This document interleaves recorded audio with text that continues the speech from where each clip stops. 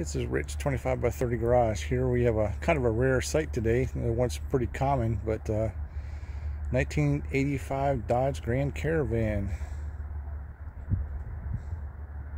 Let's take a look at this thing.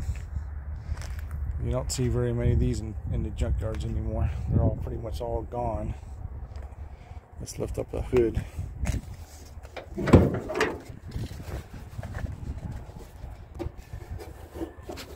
So, sorry for that, but but we have got the Mitsubishi v, Mitsubishi four cylinder.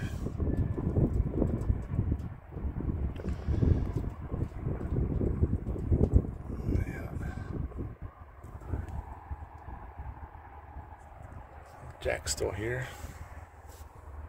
How small this radiator is.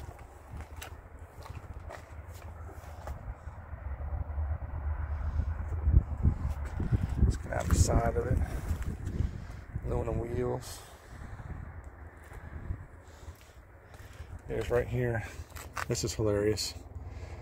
This car Ming treated. No wax or polish, please. Look at that. I mean, you think it needs waxed or polished? Obviously, that, that treatment's worn off or whatever. Oh, I can't get in the door. But, yeah, some forklift damage obviously looked like it was sitting for a little while.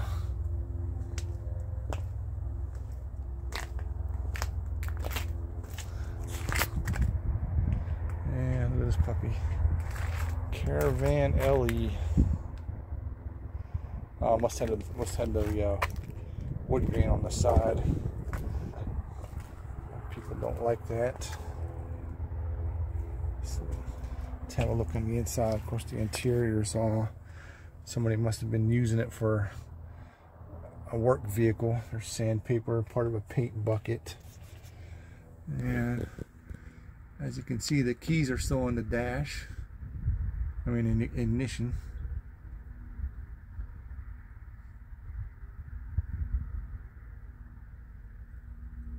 Yeah. The dash is in pretty good shape.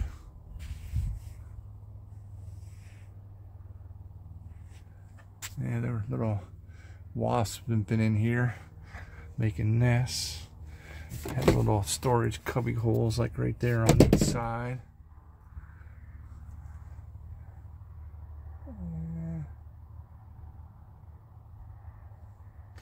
All right.